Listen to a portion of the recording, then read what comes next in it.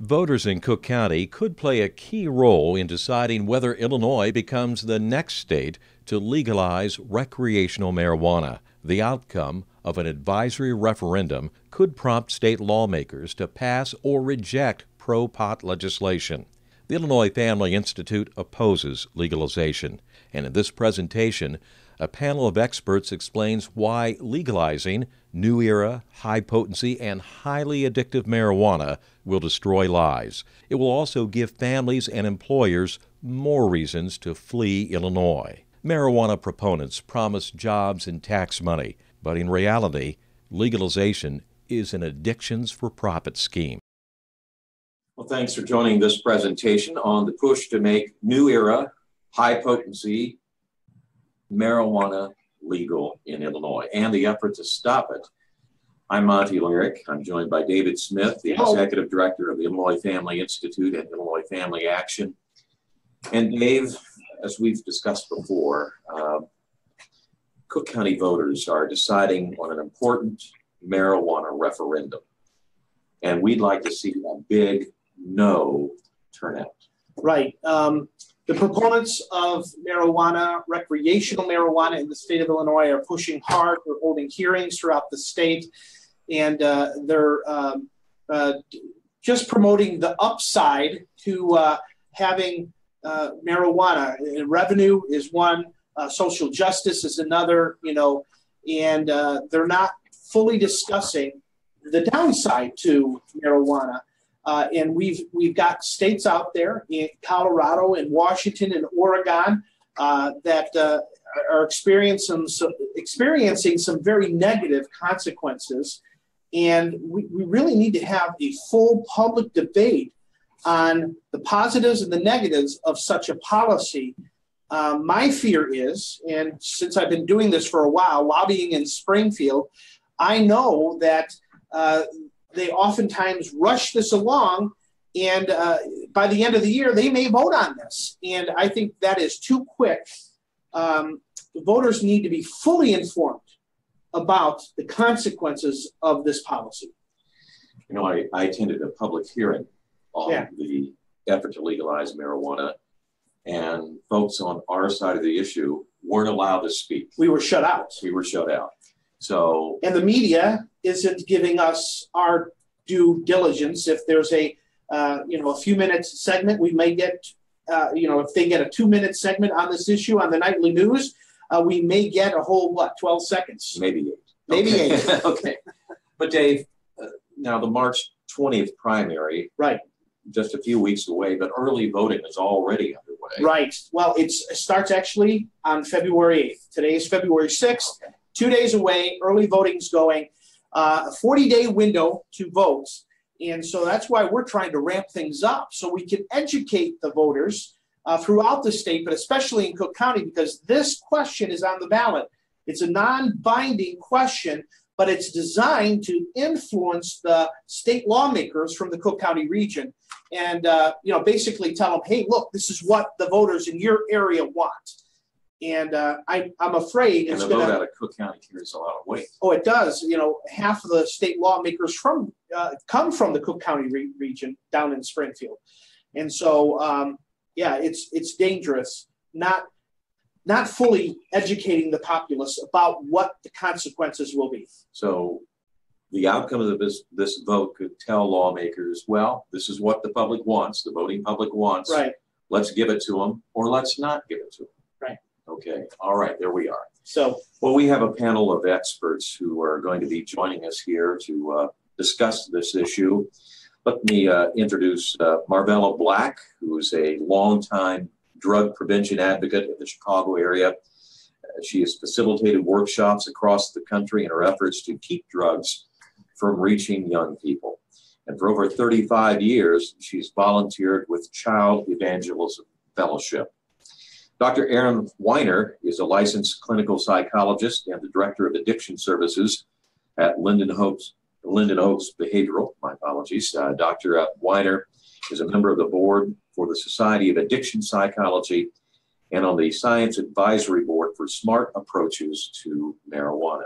Thank you guys very much for joining us. Appreciate it. be here. may have a third guest join us shortly, but uh, let's start out with a question for Ron or um, for Marvella. Marvella, uh, you have been working in the community uh, on, in Chicago for some time now.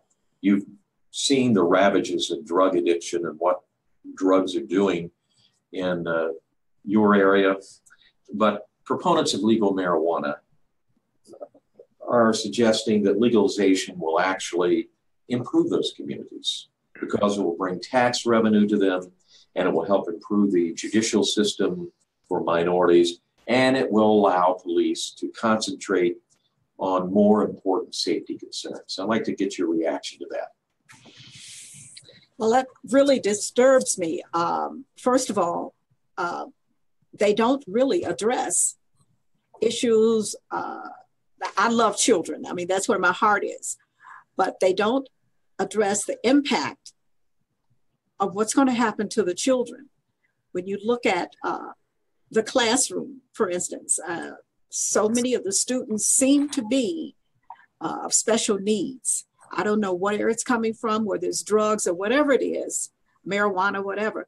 But our children seem to be afraid. They can't have, they don't, uh, uh, they're not in a, an environment that is conducive for learning. And what will that do to the students that are in the classroom now? Uh, we have students that are, are, afraid to even be in the class, afraid to go to school because of the gangs, because of the drugs that are in our neighborhoods. So uh, when we look at our families, we know that marijuana has destroyed many families. You either know someone who has been affected by this, a family, or you know uh, it's your family. So, what happens to these families? What happens to the violence? What happens to um, many of the other aspects of uh, single moms or moms who are taking marijuana? What happens? So, Marvella, you're, you're saying that the the increase in marijuana in communities is a bad thing. Uh, Absolutely. Uh, for, for the children. Mm-hmm. The start of the family. Uh, uh, when we look at the children, I, my heart breaks. Yeah, absolutely. Uh, we know for a fact that even if a mom is breastfeeding and she's taking marijuana, that affects that child. Even if the father is taking uh, marijuana that affects the child. And it could affect the child up until the, about the age of 10 where uh, when it will dissipate in their system. So what does that do to that child? That's right. Well one one uh, hospital in pueblo colorado is reporting that 8 to 10 percent of newborns now test positive for marijuana.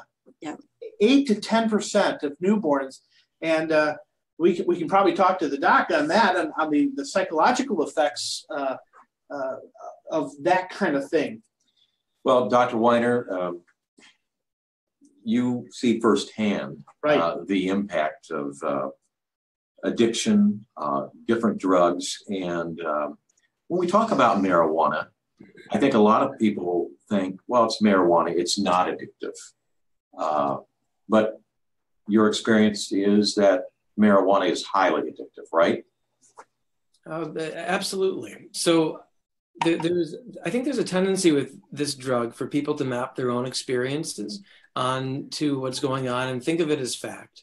But the bottom line of it is that the CD this is straight out of the CDC actually. The CDC tells us one in 10 adults who uses will develop an addiction, one in 6 kids who uses will develop an addiction, and 30% of the people who use daily. And honestly, in terms of the people we see in our clinic, I'd say that uh, marijuana is the second most common substance we see for people coming in with addictions behind alcohol right now. Opioids are, are third right behind that.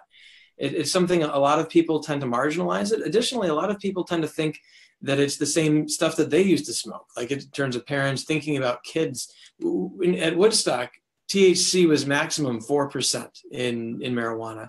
These days, um, it, honestly, it was about 16% on the street. But if you go to websites for mar- medical marijuana dispensaries, even, you'll see that the THC concentration there gets up to 24, 25. I saw one the other day uh, here in Naperville that was 29%, which is, is six wow. or more times stronger than uh, what people used to be smoking. Not, not to mention the extracts that can be up to 93% uh, pure. So it's so, really a very different animal and it, it has a, lot of negative effects on kids. So is it safe to say that the higher the THC level or the, the stronger the concentrate, the greater the addictive properties of it? That's a really good question. Uh, in terms of the addictive properties, it's difficult to say. So one of the aspects about it is it's hard to study something that is so variable. So okay. every strain of mar- marijuana is different. So what sure. one person's using versus another, hard to know. What we do know though is that the higher uh, percentage of THC, the more related it is to having marijuana-induced psychotic breaks, which is actually not a rare thing, unfortunately. We see the most in our uh, teens and young adults because the, they're the ones most often using the extracts, which are so concentrated. This is a psychotic break that sometimes is transient and goes away quickly, but sometimes sticks around. And in terms of mental health effects, both on a, a positive or negative direction, the one thing that we know for sure is it's associated with psychotic breaks and schizophrenia. So, what does it look like? What does a psycho- marijuana-induced psychotic break look like? I, I don't know. Well, it can take a, a lot of different forms. Everyone's psychosis is different, honestly. But if if someone, I just one that that I saw firsthand was this, this was someone who who when it occurred, they they left the house, they stopped talking uh, in, in English, they started talking in gibberish. They thought that uh, they uh, they exhibited a lot of paranoia. This was a 23 year old male. He uh, wouldn't let anyone he knew near him because he thought they were all part of some conspiracy. He became very violent um, it, it, was it was very distressing to everyone. And and the, the last I heard about it, he was still on the street. Honestly, um, this wasn't a case that that resolved itself. So, um, Marvella, do you see any of these things happening in the community and the kids that you're working with? Do you see any of these? Um, uh, do you call them symptoms, Doc? I'm not sure if those are symptoms or just uh, outflows of uh, the psychotic break. I don't see it in the classrooms that I visit. However, I do see it on the street. Uh, it, uh, you see young, especially the young men walking up and down the streets, talking to themselves. It can be below zero and they'll have their coats open.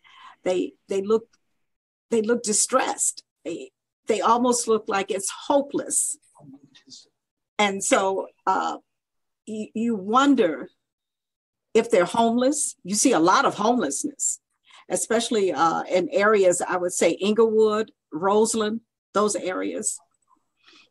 Many of the young people are homeless.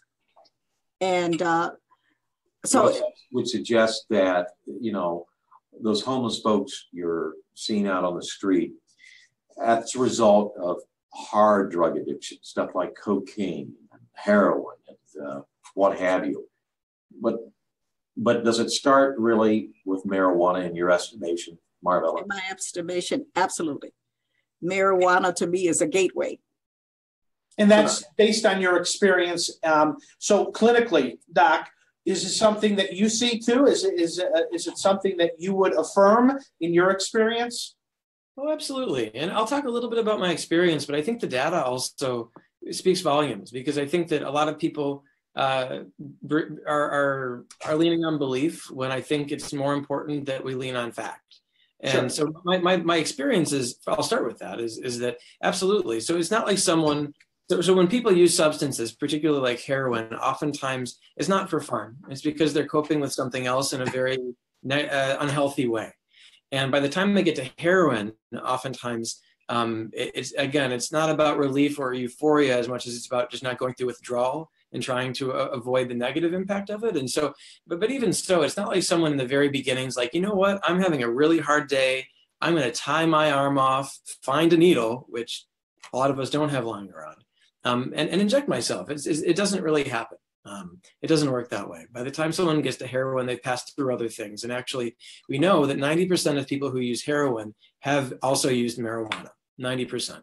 We also know that uh, that uh, and I don't have the, the graphs with me right now, but it, it's something along the lines of um, I think three times more likely that a, a, child will use heroin if they're using marijuana okay. versus they I just unmuted. And we we also know that if someone's smoking marijuana, Yes, if a child 12 to 17 is smoking marijuana, Thank they you. are 10 times more likely to use any harder substance. So it, it makes sense on a number of levels, and actually the data uh, shows shows that as well.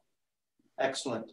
Well, now we've got uh, Ron Castagna. Did I say that right, Ron? Uh, pretty close, castagna like lasagna. Good. You're an educator in Colorado, and you've uh, held uh, talks with the PTA about the implications of marijuana. So, uh, as we know, uh, back in 2014, I think, Colorado legalized recreational marijuana. What's life like in uh, Colorado? At your school. Ron? Well, I am retired, but I just happened to be in a high school today. Passed the football coach. I said, Well, what's your season look like next year? He said, Well, if I could keep half of my kids off of marijuana, quote unquote. Um, Colorado youth are now number one in the nation. Uh, we are 50% higher than anybody else for teenage use. Suspensions are up 18%, and we kind of go down our merry little road here. I started um, an initiative with the help of uh, a legislator uh, to get on the ballot. And here's the scary part of the marijuana industry, if they, as they call themselves, is that um, our initiative was to cap the percentage of THC at 17%. And the marijuana industry has so much money that it became impossible for us to even find the, the companies to get the signatures on the on the ballot to uh, to help us out because uh, they were block, blocking us in every path we could go. So we, as the um, state that was going to launch this, has done a terrible job. I don't care what our legislators tell us, or even our governor who walks the fence on this. Um, it has been a disaster for our young people. I'm an educator. I was at the same high school for 17 years, and I will tell you, we as adults are role models. There is no getting around it. And when we sit there and say getting high is a recreation, that flies in the face of everything we've stood for as educators. Well, it's not just recreation, right? I mean, now we've got it commercialized and being promoted as a business in states uh, to young people saying, well, first it was medical, now it's recreational. Uh, and now we're sending that message is, hey, it's not a big deal. And the, when Right. they're fighting you to, to even just put a cap on it, uh, the doctor that we, we were talking to said, you know, it used to be 4%, now it's up to, like you said, 20 some percent. Um, and, and just trying to cap it just sounds like common sense, at least a, a, a good start to roll Okay. it back a little. Here's the thing it can be 20, it can be 30. Colorado's very good at growing pot. Mm. If you take the wax, you can get 100% THC. With the, the invention of the vape pens, kids can sit in class. This is actually what got me on Hannity because I was just shocked. You can sit in class with a vape pen, be very discreet, no odor, and have 100% THC in your in your pot. Um, just just getting high. It's absolutely the scariest thing. And so when those psychotic breaks happen, um, you know, they say there's no lethal dose to marijuana. But when you look at the deaths that we've had, the husband who kills the wife because he ate too many brownies, because he was drinking as well, um, no warning labels. How did we get past this? This is worse than the tobacco industry. This is the tobacco industry on steroids. Yeah. Well, Ron, you you said something that this has been a disaster for young people and kids, but this was sold to Colorado voters as going to be strictly enforced for adults 21 and oh, older. Okay. And we're hearing that same line here in Illinois. Okay, here is here is the crazy part. You can be a caregiver in Colorado at 18. You can have six plants. You can have six plants per patient. You can have up to six patients. That gives you 36 plants you can have. One ounce of marijuana will give you somewhere between 20 and 35 or so joints. One ounce. a, a pot plant can grow anywhere, depending on how good you are at it, a pound to four and a half pounds. It has three grow seasons. All you got to do is do the math.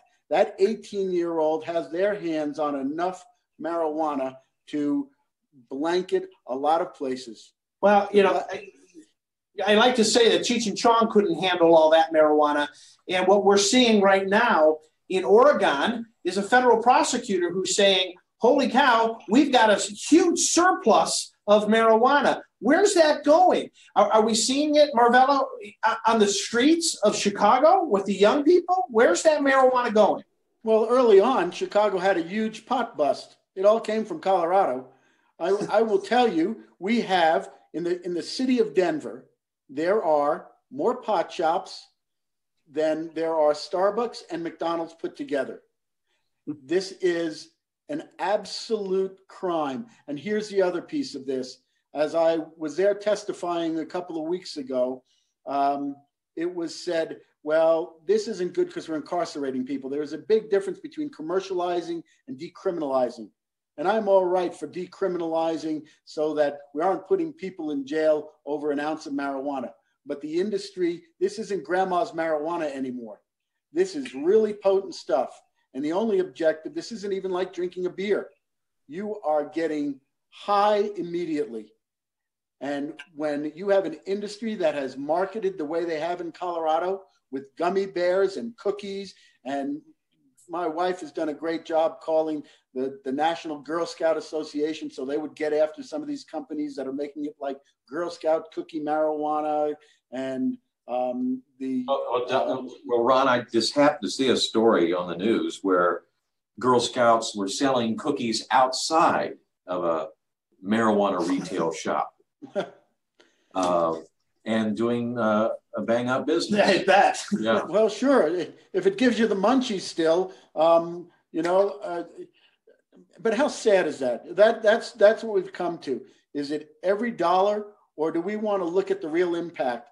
The real impact in my eyes is that for every dollar we generate in taxes, we are spending 10 times that much in rehabilitation, helping our young people. And I will tell you, these are in Denver, but the wealthier communities in Colorado have voted no on having the shops. So I live in an area called Centennial. Our city council said no.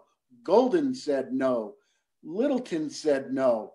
So it's Denver and in some cases, this is in, in, and it's in Aurora, it's in our poorer communities.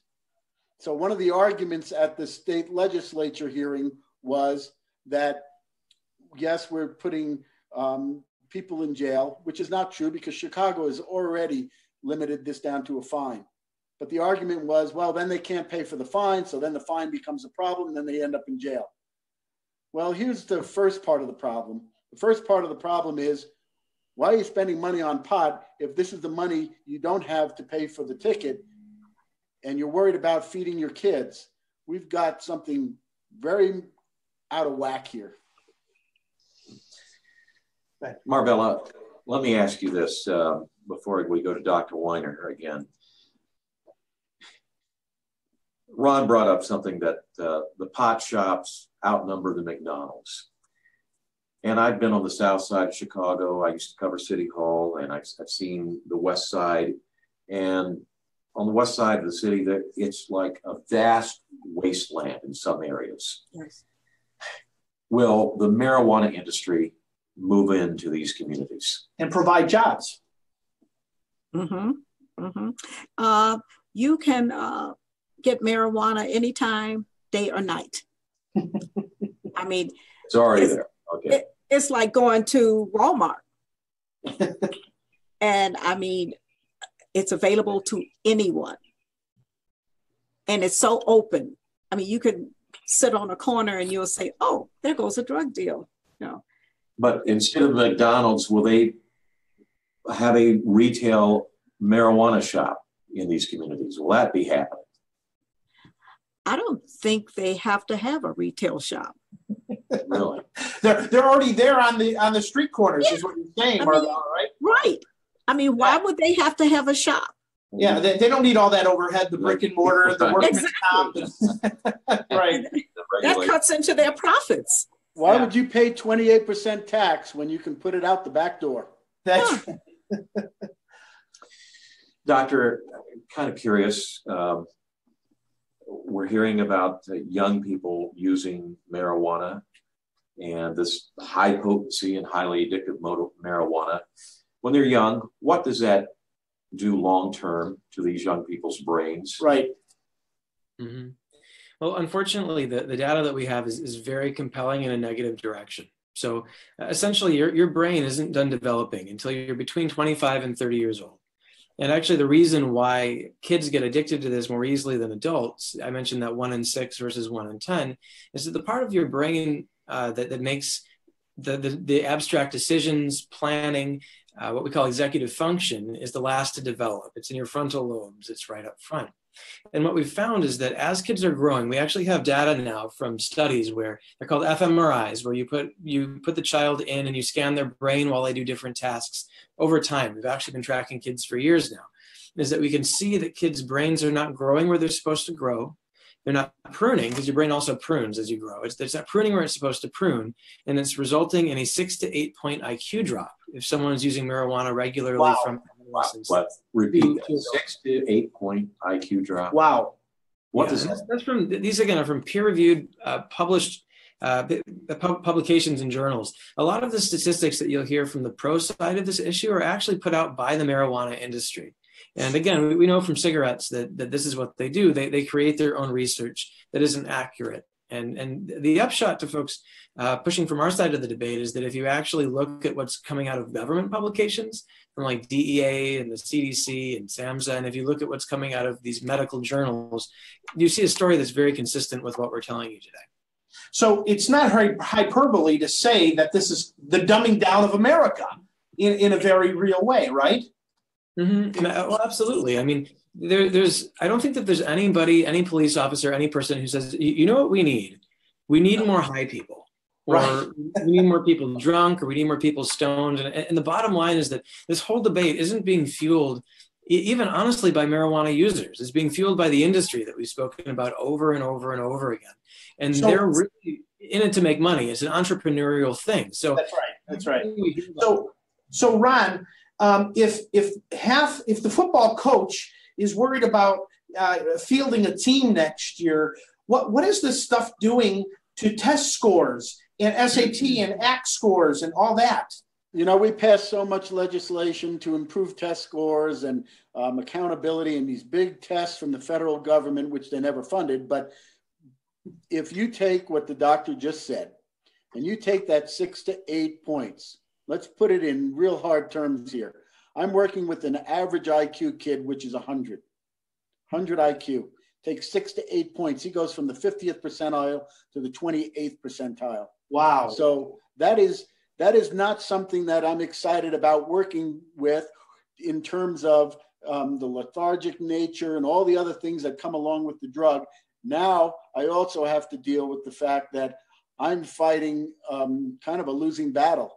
I'm supposed to get his test scores up as an educator, but I'm also supposed to get him off of drugs and uh, make sure that he hasn't done permanent damage. And that's the scary part. That doesn't come back. Those six to eight points don't come back. And, and as the doctor said, the research is there for a with a lot of studies on that. And that is not just something that scare tactics or anything else. It's the reality of what goes on. I have sat across kids and parents with parents in tears because kids have screwed up their lives because of being so addicted to the marijuana that they have given up soccer scholarships and opportunities for college because this becomes the most important thing in their life at the most critical point in their life. Marvella, are you, are you seeing that in your community? Uh, Yes, I am, but I do have a question for a doctor. sure. Uh, what is the youngest age that you've seen come through your agency? Or oh goodness, because I, Well, I, I'm really looking at kids in kindergarten. But we only take we only take as young as twelve, and we and sometimes we see twelve. But um, it's, So it's Mar- Marvella, though, let me go back to that. What did you say? You see kids as young as in kindergarten? Oh yeah. yeah, Wow. I mean, and that's because they've gotten into their parents or brothers and sisters stash. Right. Are we talking about gummy bears and uh, brownies, or are we talking about actually smoking a marijuana joint? Actually, smoking a joint. I can't We've- imagine. We've seen the other. We've seen the gummy bears and the kids rush to the emergency room. We have basically um, just a very few number of adolescent neuropsychs in the state of Colorado, and the the when kids come out, let's even let's go to the medical one. Let's go to the big argument: CBD oil. The Charlotte's Web for Colorado still has THC in it. It is not the the Euro, the English European version of CBD oil. So it's actually very dangerous. And once those kids come in for treatment, most neuropsychs or anybody else dealing with the kids' seizures will not touch them because they're not going to prescribe another medicine. And it doesn't work for everybody. So we've had people move to Colorado, upend their family, thinking that here's the promised land of CBD oil, and it isn't. Uh, you just mentioned, Ron, that uh, you've seen kids rush to the emergency room uh, as a result of a marijuana overdose. But yet, on my Facebook page, on the Illinois Family Institute Facebook page, I have people demanding uh, that you just can't overdose on marijuana. What are they being rushed to the emergency room for, if that's the case? And I want to hear what uh, Dr. Weiners has to say too. Well, they're having psychotic breaks. I mean, I'm not in the medical field, but um, the doctors I've talked to say it's um, uh, pretty careless. Uh, we had a young man, I'll give you one, 19 years old, should be able to handle it. Ate a quarter of the cookie, didn't feel anything, continued to eat the cookie. He's pretty famous. It was early on. He ended up jumping off a building and killing himself. We had the husband who killed his wife. So imagine what it's doing to little kids. If they're if if the adults are having a psychotic break, imagine what it's doing to a young forming mind Sure. who gets a hold of a handful of gummy bears. Sure. I mean, I I couldn't stop at one gummy bear. I mean, look at me. But but Doc, talk about that first on the the overdose situation, and then the psychotic episodes that that Ron just talked about. Yeah, well, I'd be happy to talk about that, and, and I also want to touch on uh, on the seizures as well because I think it's important. Okay. In terms of, of the gummy bears, though, what- what's what's going on with, with edibles? There- There's a couple of things, right? When when you eat it, what's in there is in there, and it's going into your body. And something that you can do if you're smoking is you can slow down, right? So you you you, you take a drag, you can take long, you, you can you can control that. But when you take an edible, it, it's just it's going in. Not only that, but we found from research that your peak THC level in your blood doesn't come from edibles until two to three hours in, because it has Oh. to be absorbed through your yeah through your stomach lining, as opposed to, to, to vaping or, or smoking, which goes much more quickly. And so what that means is that you don't really know what's going to happen to you until you're pretty far along. It also has pretty intense uh, negative implications for driving, which we can t- touch on hopefully at some point today as well. yes, let's do that. Um, yes. Uh, but but before we do about seizures, I think it's so critical. Um, there, there was a there was a massive literature review put out by the National Academy of Sciences, Engineering, and Medicine. It's free online. They are a well-respected body. This particular report was over 500 pages long, summing up everything that we know about marijuana from again reputable sources, and they grouped their conclusions into how strong the evidence is.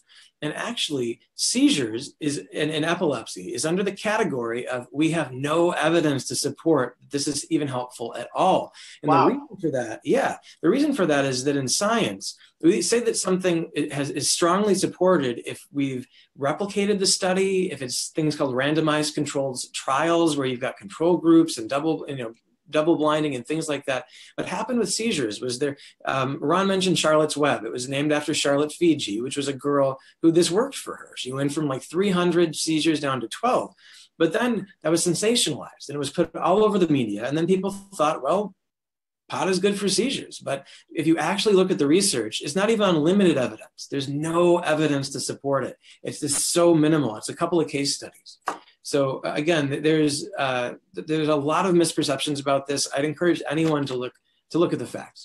No, we need to look at those facts. It's very important that we understand it. But let's talk a little bit about driving too, because um, I like to say to people, look, if, if Monty and I were having dinner, we had a glass of wine or a, a bottle of beer, um, it may not affect us, right? Uh, probably won't affect us.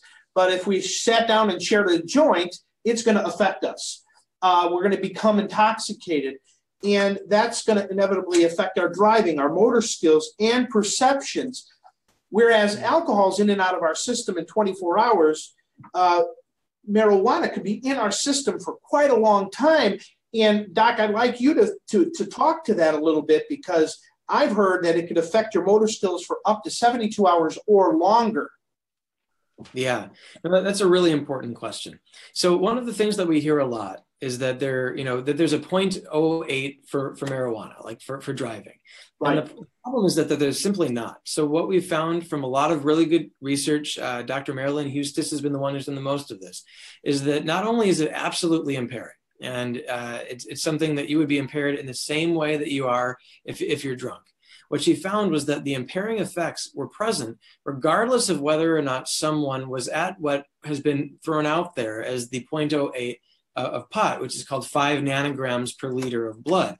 But what wow. she found was any THC in the blood at all, they found these impairing effects. Additionally, people don't metabolize it in the same way. So with alcohol, whatever your blood alcohol level is, it's going to go down pretty much no matter who you are by 0.015 an hour, which roughly translates to about a drink an hour. It doesn't work that way with pot. We all process it differently. So, in terms of when are you safe to drive after you smoke, do you know if you're safe to drive after you smoke? It's, it's really hard to say. And then add the edibles part on as well. Those those are catching on where it's not even going to hit you until a while after you eat it uh, it, it's it's not good, and we've seen it play out in the real world. I think uh, car claims we are up. I think it's 14% in Colorado. Ron, maybe you'll speak more to that. Washington, Oregon as well. Traffic fatalities are up. AAA put out a report about this. Um, you'll hear a lot of this discredited or kind of pushed aside from the proponents of the issue. But again, if you actually look at the government publications, you'll see a very different story. Ron, what's driving like in Colorado post legalization? Um, it's it's not great. There, pe- people are vaping in cars. So um, unlike uh, liquor, it's uh, pretty prevalent. And um, the studies they've done from HIDTA, all the accidents are up. I will tell you a personal story. We had a car in our backyard one night. We've been in the same house for 15 years, and there was a car. They opened the door, reeked of pot, um, we didn't have the testing. The police couldn't really do anything about it. Passed the, the, the sobriety test, but um, higher than a kite. And so it's um, it's a it's a big issue. And again, um, who wants to be the legislator while it's against federal law that passes this and has to face somebody that says this person is high on marijuana um, killed a family member, and it's and it's happening. And we've added another another problem to our, our already overcrowded streets. It's Listen, worth, everyone who's watching the, um, the, the Facebook Live video right now, uh, please feel free to uh, put a comment in or ask a question, and we'll throw it out to our panel of experts here and uh, get their feedback for your question. So uh, please feel free to join us. Marvella Black, uh, you probably recall a few years ago there was a a big effort to stop the big tobacco companies from marketing to kids, particularly kids in the inner city. And they were attacking Joe Camel, you know, it was a, kind of a cartoon figure, and uh, promoted cigarettes. So here we have the marijuana industry now promoting edible candy uh, a candy infused with uh, marijuana. Boy, and lawmakers want to legalize this. You, have to just be up in arms about this, Mar- Marvella. Um, I have so much pain involved in this. Uh, when I look at it's almost to me like it's hopelessness. Uh, I know it's not hopeless because if we take the time to educate, if we take the time to uh, spend time with these children with, in the schools, with the teachers, with the with everybody that we can. Uh, my cry is, where's the church involved in this? Right. Where is the church? Knocking on the doors of the church. We need your help. That's right. Um, And so my cry is that the church would take up the arms. You know, up- that's a very good point, Marvella. I have a friend who runs uh, an abstinence ministry, uh, and he used to be a pastor. Mm-hmm. And he was getting tired of seeing young teenager girls coming into his office saying, I'm pregnant. And, you know, he thought, you know, we getting these kids to adopt the child out or visit a crisis pregnancy, pregnancy center was important. But he thought, we got to get ahead of this. Mm-hmm. We, uh, we need to start teaching abstinence. And I think that's exactly what we need to be doing here in Illinois is teaching the young people exactly the, the, the dangers and the consequences of doing this. I mean, uh, listening to Ron talk about you know the drop in IQ points and and uh, the apathy uh, that joint that that affects you afterwards. I mean, that really is going to affect you throughout your entire life, your career, your possibilities, uh, your school choices. You know, uh, it's uh, it's quite dangerous, I think. And, and the church needs to also, speaking of which, because they're already dealing with the, the fallout, right, of the addicts. They're mm-hmm. going to be, why don't we get ahead of this mm-hmm. and try to teach them about sobriety? Mm-hmm. that's it occurs to me, it's what scripture says, be sober minded. And uh, I think that's very important. We got a question. Well, we do, but I do have a question for Marvella. What kind of feedback are you getting from pastors about this, Marvella? The pastors that you work with? Uh, some of them are, I, I guess, frustrated. Uh, I would say that they understand, some of them understand what's going on, but the parishioners seem to be lethargic. Hmm. Uh, it's like, I don't want to deal with this. It's easier not to deal with it. Even though I'm in pain, I don't want to deal with it because I'm used to this pain. I'm used to living in fear. I'm used to uh, the violence that's around me. Uh, that doesn't make sense, but that's the way it is. It, I don't want to go outside uh, the church doors to try to minister. I'm going to sit inside because I'm comfortable here.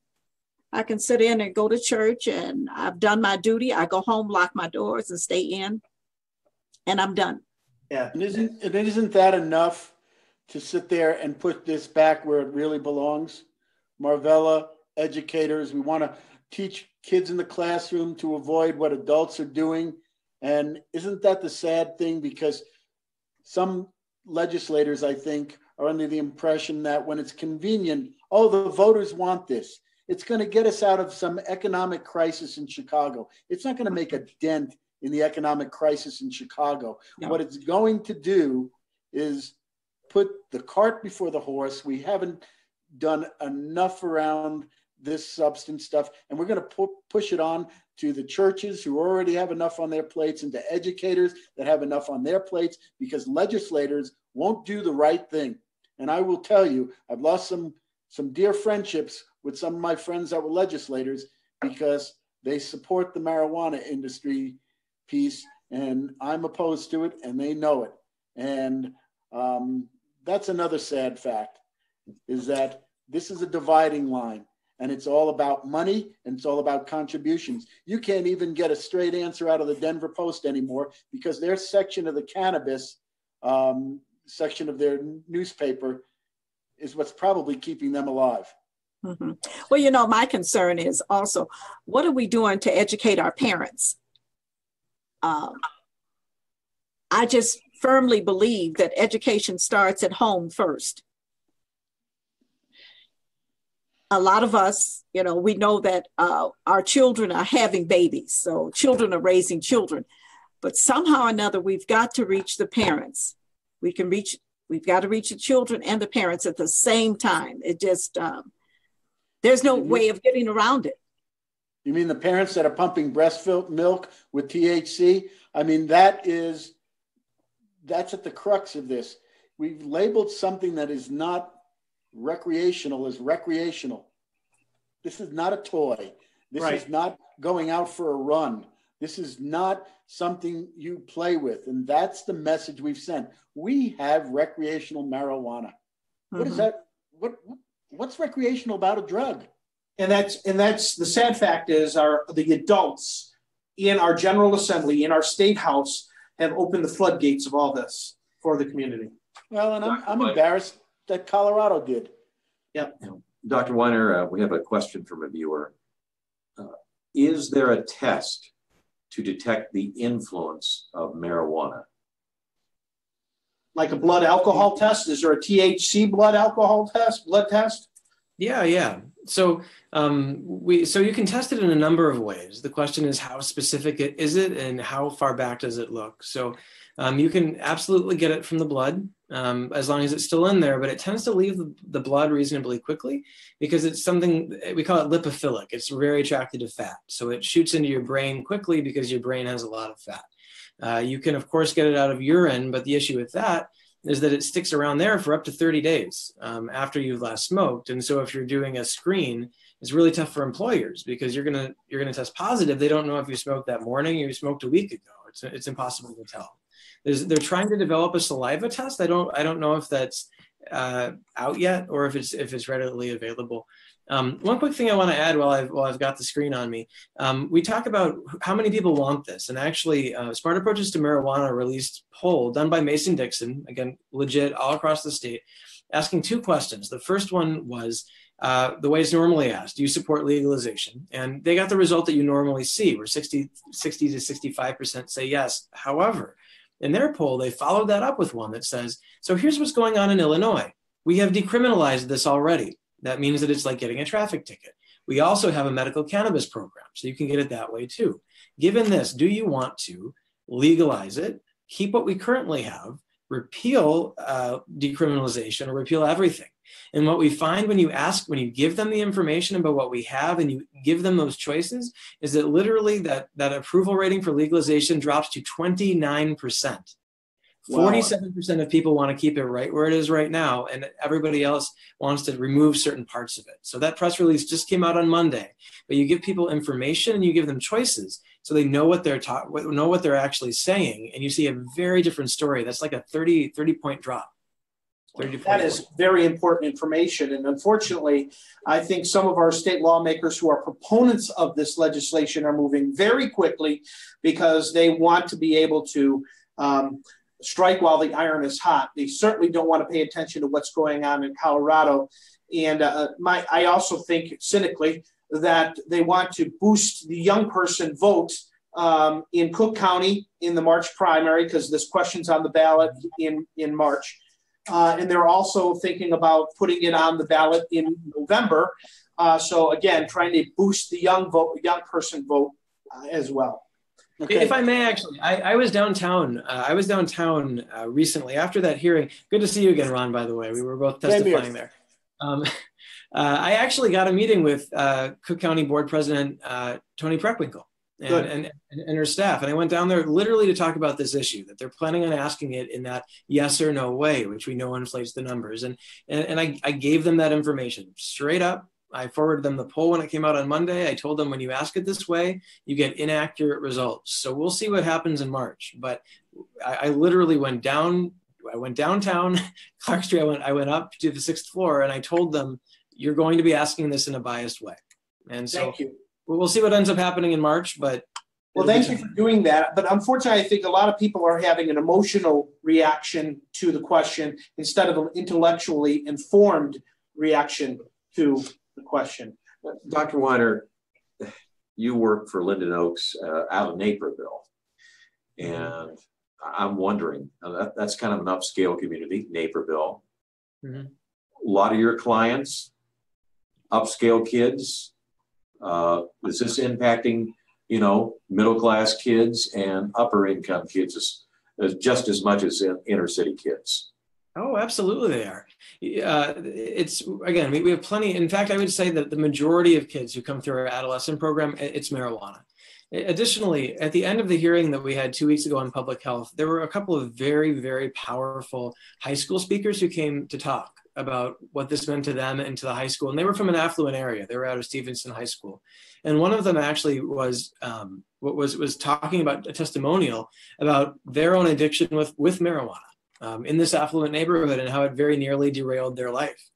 And only only through treatment and a lot of effort and changing all of their friends and everything else were they able to extricate themselves from that. But again, to me, that just also reinforces the dangers of what, what message are we sending when we say this is recreational. Enough people are already confused when they come into the clinic about like, is it a medicine? Is it a drug? The state says it's okay. That's a whole nother thing. There's a lot of conditions, including seizures, that the state has said that you can use this for that have no basis in science. And so it really confuses the public a lot. And yes, we see a lot of kids using from all demographics. Well, we have a question, and you may have touched on this a little bit, uh, Bill, already, but uh, here's the question How big of a problem is it in Colorado with drivers using marijuana? Uh, Ron. Ron, uh, you talked about a situation uh, by your own home, but right. Uh, Here, it's got to be. Here's an article from the Denver Post, and it says pot use doubles crash risk. They've they've done their studies as to the harms of it. It's um, it's you know HIDTA, the Rocky Mountain HIDTA report is um, pretty uh, pretty darn good and it's uh, seen a drastic increase in crashes, in burglaries. We are, um, I've never seen anything like this, and I've been out here um, a good 30 plus years, and it's uh, pretty bad. This isn't going to get rid of the black market, by the way. June 17th, our Attorney General, Cynthia Coffman, who had to defend states' rights because the people passed marijuana, we had the largest bust, she said, in marijuana 2,600 illegal pot plants, 4,000 pounds of marijuana. This group was making $200,000 a month, and they they busted 74 people. So if this is the idea of we've got to stop incarcerating people and we thought the black market was going to go away, we are putting people in jail at record numbers because of this and the fact that when the kids do get hooked, that nine to 10% of the kids that have that gene in their personality that gets them addicted to this stuff, they the cartels are right there to sell them crack and heroin. Wow, that's that's really good. You know, um, regarding car accidents, I posted an article on my Facebook page uh, a couple weeks ago saying that uh, auto insurance has gone up by three percent uh, because of all the accidents um, a friend of mine who's in the industry said it's gone up 10% in Colorado because of the, the accidents. And uh, it was funny, uh, Doc, you, you said that people are mapping their own experiences on the uh, outset of this. And um, I had a friend who commented on that article, which was from, I think, the Denver Post, but it was a reputable newspaper. Uh, and he said, well, that's just not true. it's not, it's not true. Um, how, how do we get to get through to people like this who are mapping their own experiences and, and I don't know, defending? Is that what you can, you can say? Defending the use of this product?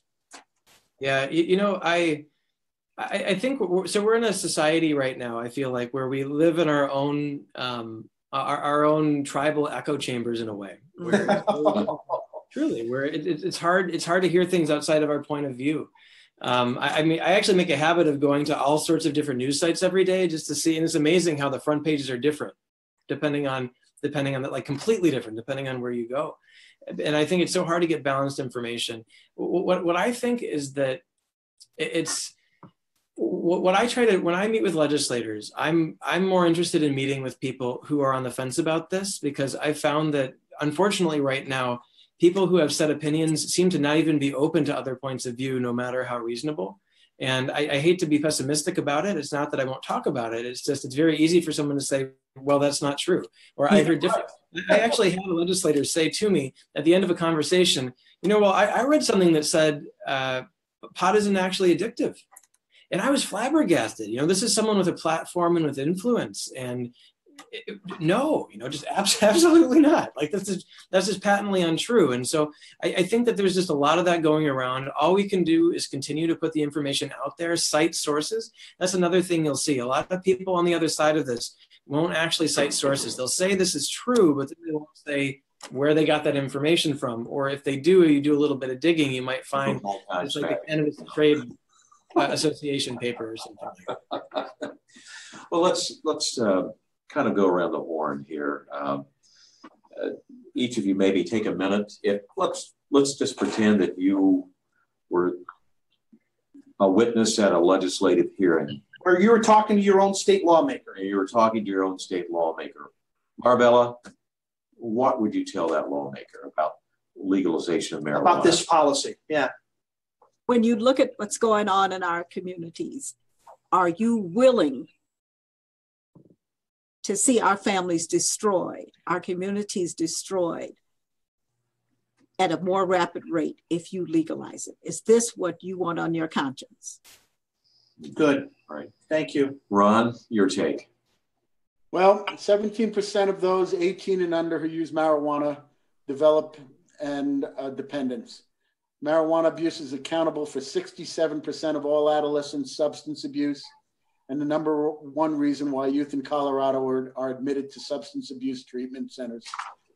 What parent, as a legislator, do you want to sit in front of and say it's recreational and um, it's not legal for kids that are under 21? So we're really sorry. And oh, and liquor is so much worse. You know, I, I was taught by a pretty traditional dad two wrongs don't make a right. That's right. That's right. Thank you. You know, you said something about dependence there. I just got a comment real quick. Is you said it creates dependence, um, and to my libertarian friends who may be watching tonight, do we really want to increase uh, more? You know, the, the, the number of dependents on the nanny state. I mean, it's well, counterproductive. That, that, what we're trying to do. You hit the nail on the head. Do you do you want to not have another ten percent in your workforce? Yeah. As an educator, do I want another 10% in my school that are not ready to, to, to learn every day? No. Do we want another 10% that can't fill that truck driving job? You know, right now, we just had a, a, a good friend of mine does major construction. Bid came in $40 million over for labor. Part of it is Colorado was booming, but the other part of it is there are not enough workers that can pass the drug test this isn't a recreation. We are setting people up for failure. And I thought that was the whole idea of government. Government was supposed to be for the people, to protect the people. And sometimes you got to protect them from themselves. Right. Dr. Weiner, your message for lawmakers. Yeah. Yeah. First of all, I, I would encourage everyone to talk to your lawmaker. They, they, they do listen um, and they care about what you have to say. Um, I think at the core of it, if I was going to make it simple, it's does this make Illinois a better state? Is this promoting the health and well-being of its citizens? And, and if so, how? And, and, and the problem is that if you if you look around, right, even if you, I think really the, the only thing that you, you hear about why this is really going to be useful is revenue. But like Ron was saying, we have data out of the CDC you lose 10 to 15 dollars. We've seen this from alcohol and tobacco. 10 to 15 dollars from every dollar that you make in revenue. So it's a profoundly losing proposition. And even if you look at the revenue it's, it's like it's like blood money you know like at, at what cost? Is, do we really want to be making money off the backs of addiction? And have more because that's the one thing we know. More people are going to use if you enact this law so do you do you want kind of going back to what Marvella was saying? Do you want that on your hands? The car crashes, the addiction, all of that. Is that how we want to make our money here, or is there a better way to do it? Yeah, very good. Right. Well, Dave, very important vote coming up. Yep. Uh, early voting getting underway shortly. Right. We want Cook County voters, especially, to say no no on marijuana. That's right. We have a voter guide. Right. IllinoisFamily.org. Uh, you can get a voter guide online or you can call the office at 708 781 9328. Yeah, it's right there at the bottom of the screen later. Uh, and uh, you can ask that uh, a voter guide be mailed to you, and it will tell you where all the candidates stand on this this issue and others. Uh, at least the ones that were running for governor are all uh, out and uh, saying if they support or oppose. I believe all the Democratic candidates support, and all the Republican candidates oppose it. So um, yeah, so but make sure you get out and vote. It's our civic duty to get out and vote. And early voting starts February 8th and runs through March 20th. And there is absolutely no reason with that window, uh, a 40 day window to vote, that you can't vote. So make sure you do. Let's, uh, panelists, uh, if you could give us your contact information if people want to know about uh, best resources uh, to find out about marijuana, that sort of thing. Marvella, how can people get a hold of you? Uh, my email address is black marvella at sbcglobal.net. All right. Good. Thank you. And Ron? rdrc55 at comcast.net. Okay. Dr. Weiner? Uh, it's A-A-R-O-N dot W-E-I-N-E-R. So Aaron dot Weiner at E as in Edward, E E Health dot org. All right. Thank you so much to our panelists for being a part of this uh, presentation. Thank and, you very uh, much. This uh, this will be on YouTube a little later uh, this week. All right. Make sure you vote and vote no on the legalization of marijuana. in Thanks. Cook County. Thank you very much, gentlemen, and Marvella. And other states have said no. Arizona has said no. Ohio has said no. It doesn't have to be a slam dunk.